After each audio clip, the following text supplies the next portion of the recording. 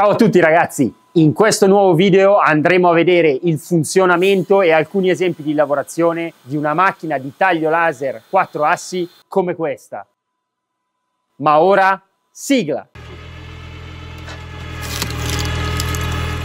Ma cosa può fare una macchina di taglio incisione laser? Questo è un esempio. Qui abbiamo sia un'incisione per quanto riguarda la scritta, superiore e inferiore, e anche per quanto riguarda il disegno su linea ma abbiamo anche un taglio sul profilo su uno spessore 20 mm. Abbiamo deciso di fare questo video perché queste macchine stanno diventando sempre più facilmente utilizzabili da tutti, anche dal punto di vista dell'accessibilità economica. Tant'è vero che noi la stiamo riutilizzando per rifare quelli che sono i cartelli di un sentiero del nostro paese. Ma che cos'è il laser e come fa ad essere in grado di incidere e tagliare il materiale? Praticamente il laser è un fascio luminoso in grado di concentrare una grandissima quantità di energia in un piccolissimo spazio. Per fare questo si avvale di una serie di specchi che concentrano il fascio luminoso in un focus, o meglio in un fuoco che è il punto dove il taglio, l'incisione ha la maggiore efficienza. I metodi per creare un fascio di taglio laser sono il metodo a diodi, il metodo a CO2, quindi ad anidride carbonica, o il metodo fibra. Gli ultimi due che ho detto sono metodi utilizzati solo a livello industriale. Quelli utilizzati con le macchine come quella che vi abbiamo appena fatto vedere, che possono essere utilizzate da tutti a casa propria, sono macchine che funzionano a diodi. Ogni diodo ha una potenza di circa 5-6 watt in funzione del tipo di diodo. Quindi quando andiamo ad utilizzare macchine che hanno una potenza superiore come questa che ha 22 watt, è perché stiamo utilizzando 4 diodi in parallelo che si concentrano tutti in un unico punto. Ma quali materiali possono essere tagliati o incisi con un laser? Per dare una risposta a questa domanda dobbiamo capire come fa il materiale a essere tagliato inciso. Il materiale viene tagliato inciso quando è in grado di assorbire quell'energia che il fascio laser emette. Mi spiego meglio. Prendiamo l'esempio di un materiale riflettente. Se io sparo una luce contro un materiale riflettente, questo me la riflette indietro con la stessa intensità e con la stessa energia. Quindi vuol dire che quel materiale di energia non è assorbita. Quindi se io voglio tagliare una lamiera di acciaio inox a specchio, non ce la faccio con un laser a diodi, perché sto sparando un raggio di luce contro un qualcosa che mi riflette indietro la stessa energia. Quindi è più probabile che vado a danneggiare qualcosa che si trova sopra questo materiale riflettente perché ho riflesso il raggio laser. Quindi riesco a tagliare e incidere tutti quei materiali che invece sono in grado di assorbire l'energia, quindi come i polimeri e il legno. Il fatto che io stia facendo un'incisione o un taglio dipende semplicemente da quanta potenza sto utilizzando e a quant'è la velocità di avanzamento che sto utilizzando. Più vado veloce a bassa potenza, meno penetro nel materiale. Più vado lento ad alta potenza, più penetro nel materiale invece. Ma a che prestazioni si riesce ad arrivare con questo laser da 20 22 watt. Se parliamo dell'altezza di taglio, riusciamo a fare 15 mm di legno in una passata a massima potenza. In questo caso il legno è da 20 mm, vuol dire che non può essere tagliato No, al contrario, è semplicemente necessario fare più passate. In questo caso, per tagliare un 20 mm sono necessarie due o tre passate all'85% di potenza, perché ha una potenza un po' più bassa, per evitare di sforzare la macchina al massimo, ma anche per fare più passate e meno invasive, quindi che scaldano meno. E poi per quanto riguarda le velocità di avanzamento, la velocità di avanzamento massima è di 25.000 mm al minuto vuol dire 25 metri in un minuto lineari. Cosa ci serve una velocità molto alta? Avere una velocità molto alta ci consente di fare incisioni molto veloci, perché se teniamo una velocità alta e una potenza alta riusciamo a incidere tanta superficie in pochissimo tempo. Più alta la velocità, più si ridurranno i tempi necessari per eseguire il nostro lavoro. Ma come fanno le idee dalla nostra testa arrivare fino al pezzo finito? Il processo sembra un pochettino lungo, ma adesso ve lo spiego in passaggi molto semplici. La prima cosa è la creazione di un file vettoriale. Il file vettoriale lo possiamo creare noi a nostro piacimento se vogliamo realizzare una cosa dedicata, oppure può essere scaricato dal web se si tratta di un qualcosa che dobbiamo replicare. Ma cos'è un file vettoriale? Un file vettoriale digitale, come questo che vedete a schermo, non è una semplice immagine, è un insieme di linee che quindi hanno un'indicazione di lunghezza e direzione. Quindi il computer, o meglio il programma CAM, che è quello che vedete aperto in questo momento, è in grado di leggerle e sapere dove deve muovere la testina seguendo quella linea lì. Il programma CAM prende l'informazione del file vettoriale e scrive delle righe di codice che sono praticamente come le istruzioni del navigatore che dicono alla testina del laser dove deve andare. Questa cosa non si utilizza solo nei laser, si utilizza anche nelle stampanti 3D e anche nelle macchine a controllo numerico. Quello che vedete adesso è la riproduzione di quello che è l'anteprima del programma di taglio. Si sta facendo vedere con la scritta che man mano si colora dove va la testina nel momento in cui sta lavorando, nelle varie fasi di lavoro, quindi qual è il processo, qual è la sequenza di operazioni che fa. Per riassumere, in genere vengono fatte prima le incisioni e i tagli interni e per ultimo i tagli esterni. Questo per evitare che la sagoma interna possa muoversi se il taglio taglio esterno è stato eseguito prima, perché altrimenti non avrebbe più un riferimento. È una regola che vale in generale per tutti quelli che sono i processi di taglio a controllo numerico. Ma quindi chi è che ha fatto diventare molto più semplice l'utilizzo di queste macchine? È proprio il programma CAM, perché quando prima vi ho detto che il file vettoriale viene mangiato dal programma CAM per scrivere le indicazioni stradali e quindi quello che viene chiamato G-code che dà le indicazioni al laser di dove muoversi, viene fatto in maniera completamente automatica. Difatti noi se vogliamo possiamo visualizzare il G-code. Non ci serve saper scrivere noi le indicazioni, le scrive il programma CAM in automatico e le dà in pasto al taglio laser. Quello che noi dobbiamo saper fare è semplicemente posizionare il pezzo sotto il taglio laser e regolare l'altezza della testina in base allo spessore del materiale che abbiamo messo da tagliare. Fatto questo, dobbiamo regolare quelli che sono i parametri di velocità e potenza per avere il grado di incisione che vogliamo, ma queste sono cose nostre soggettive. Delle indicazioni di base per poter fare delle incisioni e dei tagli su diversi tipi di materiale ci vengono già fornite insieme alla macchina. Poi però è bene in base al tipo specifico di materiale su cui stiamo lavorando perché il legno, se stiamo tagliando un legno d'abete o un legno di faggio, non è assolutamente la stessa cosa. È bene farci noi delle piccole tabelline. Queste tabelline ci aiutano a avere una scala di velocità e potenza della nostra macchina che stiamo utilizzando per capire quanto stiamo andando a sforzare su quel materiale, quindi quanto stiamo andando a incidere in profondità fino a tagliare questo materiale. Questa scala che vi faccio vedere adesso l'abbiamo realizzata noi con la nostra macchina sul compensato. In basso vedete le velocità di avanzamento, 2000 mm al minuto fino a un massimo di 12.000 che abbiamo fatto su questa scala e le varie potenze che vanno dal 10% al 100% della potenza, quindi è come dire 22 watt e 2,2 watt. Come vedete se andiamo molto piano a potenza massima stiamo penetrando nel compensato fino a quasi tagliarlo.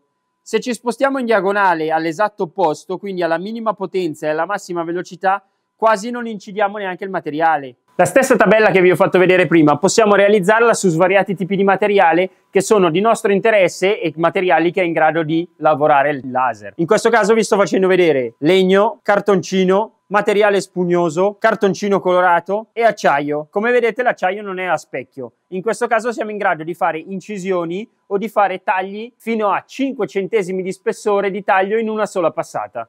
Abbiamo scoperchiato la macchina per vedere bene come è fatta al suo interno e capire quali sono i componenti che la costituiscono. Per prima cosa diciamo che effettuare il montaggio è una cosa molto semplice, in quanto il telaio arriva già assemblato. Dobbiamo semplicemente montare la testina e collegare il compressore, che adesso vediamo anche a cosa servono. In ogni caso per il montaggio ci sono, vabbè, sia le istruzioni, ma ci sono anche le video istruzioni, che sono la cosa più semplice, tant'è vero che l'abbiamo montato solo con quelle. Ma veniamo a vedere come è fatta la macchina. La macchina si compone di un'intelaiatura principale che percorre tutto il contorno della macchina. Questa serve principalmente a guidare l'asse principale che appoggia sulle due guide laterali. Sono presenti sia due guide che forniscono la rigidità e la precisione dei movimenti, ma se guardiamo anche in basso è presente la cinghia dentata questa ginghia dentata cosa fa? È quella che è azionata dal motore passo passo che in un colpo solo un motore centrale fa girare entrambe le pulegge su entrambi i lati degli assi. Questo a cosa serve? Serve avere una guida molto precisa e sempre parallela perché se noi avessimo l'azionamento solo da un lato rischieremmo che l'asse può sballare, può non essere sempre rigido. Invece così è come se tiriamo un cassetto sempre dai suoi estremi. Il cassetto esce sempre perfettamente dritto. Poi abbiamo il secondo asse sul quale è montata effettivamente la testina laser.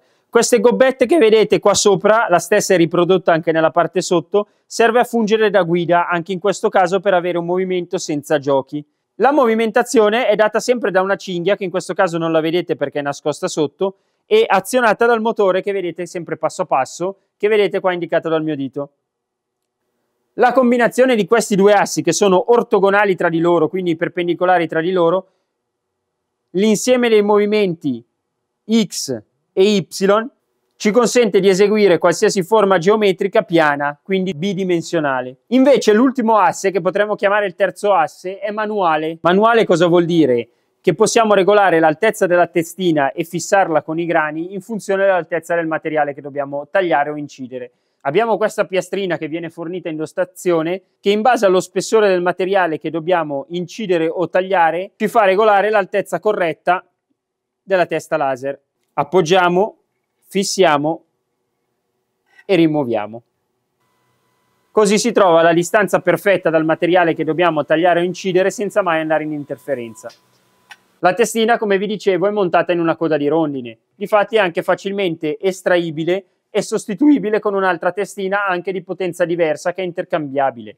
Questa è la testina da 22 watt e può essere sostituita con la testina da 10 watt e da 33 watt in funzione di quelle che sono le esigenze con la stessa macchina, perché come avete capito il movimento che fa la testina è dato dall'azionamento dei motori ed è indipendente da quello che ci montiamo qua sopra. Quello che vedete qui è il compressore, è quello che viene chiamato air assist, non è altro che un qualcosa di simile al compressore dell'auto, semplicemente è di dimensioni più piccole e di portate più piccole.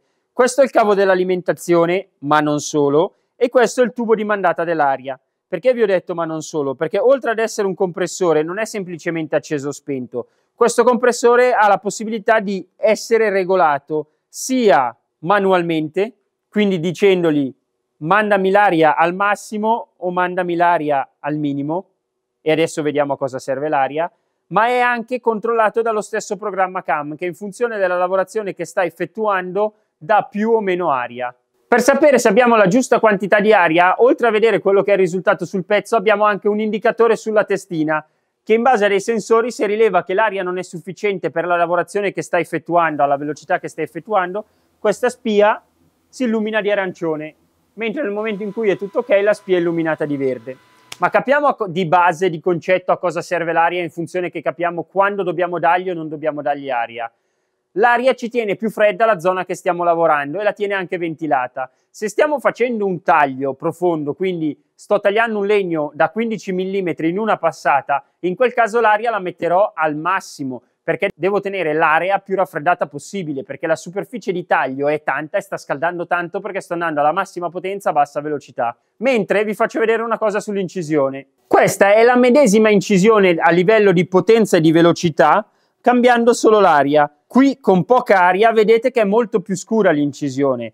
Qui con tanta aria l'incisione è molto più chiara. Perché? Perché il materiale appena viene bruciato dal laser viene subito raffreddato, quindi non si propaga, passatemi il termine, come una bruciatura, ma praticamente viene bruciato e spento subito, non fa tempo a diventare nero, mentre in questo caso è diventato più scuro. E in questo caso è un pregio perché la scritta deve essere ben visibile ma in altri casi la bruciatura non è una bella cosa perché non la vogliamo far vedere, soprattutto su un taglio.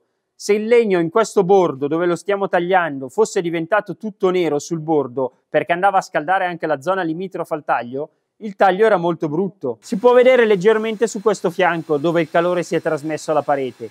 Perché? Perché l'aria viene soffiata da sopra e qui sul fianco riesce più difficilmente a raggiungere questa zona. Quello che avete visto fino adesso, appoggiato al di sotto dei pezzi che abbiamo inciso e tagliato laser, è il supporto a nido d'ape, che spesso viene chiamato honeycomb e quello inferiore è una lamiera di acciaio inox. A cosa servono questi due componenti? L'honeycomb, che come vedete è segnato, è colorato, è dove abbiamo effettuato dei tagli con laser e il laser è passato sotto, oltre il legno che abbiamo tagliato. Il colore che viene lasciato sono le zone dove è passato il laser, ma come vedete il materiale non è stato intaccato dal punto di vista strutturale. Difatti questa lamiera serve a supportare soprattutto quando si fanno tanti pezzi piccoli. Supponiamo che avessimo tagliato tanti piccoli oggettini, se noi li andiamo a tagliare e sotto cadono nel vuoto, questi possono poi essere rincisi dal laser che passa per andare a fare altre lavorazioni, mentre qui rimangono supportati e non abbiamo nessuna interazione del laser con la superficie che c'è sotto, perché il laser lavora molto bene alla distanza corretta dal pezzo che stiamo tagliando.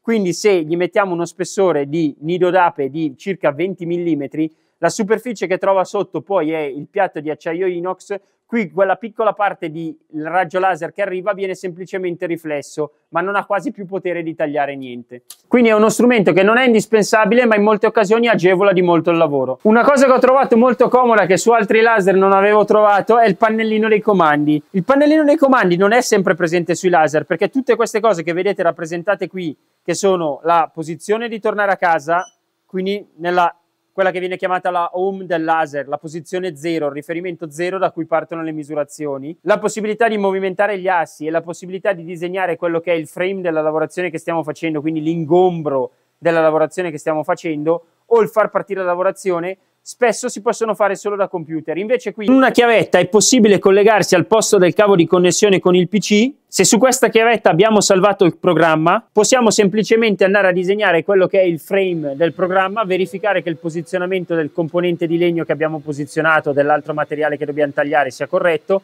A quel punto schiacciare play e far partire direttamente il programma tutto dalla macchina senza aver necessità di avere il computer sempre acceso e senza la necessità di avere il computer sempre da parte alla macchina. Dato che il laser è già dotato di quella che è l'USB di tipo C, che sono quelle di ultima generazione, viene fornita anche la chiavetta standard e l'adattatore per poter connettere una chiavetta standard all'USB di tipo C.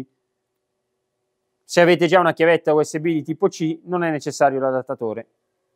Oppure il programma può essere inserito direttamente su una scheda di memoria, direttamente nella macchina. Insomma, abbiamo svariate possibilità collegare il computer, collegare una presa USB, collegare una scheda di memoria. Ce n'è un po' per tutti i gusti. La scocca che vedete nel video non è un elemento essenziale per tagliare, però diciamo che ci agevola molto la vita, perché il laser quando sta tagliando emette una gran quantità di fumi, perché alla fine taglia perché sta bruciando il materiale. Quindi questa cosa fa? Crea una camera che è messa in depressione da una ventola la ventola la vediamo all'interno, manda in depressione questa camera e butta i fumi attraverso un tubo all'esterno un po' come un condizionatore dove andiamo ad attaccare il tubo all'esterno dell'edificio in modo da mandare fuori i fumi del taglio. Se la gabbia non viene utilizzata è bene effettuare i tagli in un luogo assolutamente ben ventilato. Il montaggio della gabbia è estremamente semplice, difatti come vedete è costituita da una leggerissima struttura tubolari e lei ha già tutta la sua forma che va ad adagiarsi sopra i tubolari. Dal punto di vista del lavoro migliora nettamente quella che è l'esperienza di utilizzo del laser, perché se anche siamo in un ambiente chiuso e poco ventilato, mandiamo il tubo verso l'esterno e non di fumi all'interno non ci rimane nulla. Quello che vedremo fra poco è il quarto asse un optional che è veramente interessante per fare molte lavorazioni su superfici cilindriche. Ma cos'è il quarto asse? Il quarto asse è un qualcosa che ci consente di lavorare su superfici cilindriche, quindi riesco a tenere il taglio laser fermo, ruotare il mio corpo cilindrico al di sotto e fare incisioni che seguono la circonferenza, che altrimenti sarebbe impossibile perché dovrei girare col laser intorno alla circonferenza. Quindi stiamo andando a mixare due cose, in questo caso il corpo che dobbiamo tagliare o incidere non è sempre fermo come prima che mi muovevo in 2D al di sopra della lamiera o al di sopra del legno che andavo a tagliare o incidere. In questo caso la testina si muove solo in una direzione e intanto sotto il corpo gli ruota. Ma che tipo di quarto asse ci sono? Due tipi, vediamoli. Quello che vediamo qui da noi è un quarto asse a rulli. I due neri sono due rulli motrici motrici nel senso che c'è un motore passo passo che al posto di muovere l'asse Y muove i rulli. Quello che vedete sotto è un esempio di prova di un legno diametro 20 mm che viene messo in rotazione dai rulli. Qual è invece l'altro tipo? L'altro tipo è un quarto asse a mandrino. Il quarto asse a mandrino è come se fosse il mandrino di un tornio che va a afferrare il pezzo e ruota esattamente sul suo asse. Non ci sono due rulli che lo fanno ruotare al di sopra dei rulli motrici, il pezzo che dobbiamo andare a incidere, ma ci muoviamo concentricamente all'asse del mandrino. Che vantaggi e svantaggi abbiamo? Con quello a rulli abbiamo minor rigidità perché abbiamo il pezzo appoggiato sopra per attrito, ma abbiamo il grandissimo vantaggio di poter lavorare tubi e tondi di dimensioni molto diverse. Possiamo montare anche tondi di dimensioni fino a 200 mm che non abbiamo nessun problema mentre nel momento in cui utilizziamo un quarto asse a mandrino abbiamo il vincolo di quanto diametro riescono a prendere le griffe. Ma adesso vediamo in opera come lavora.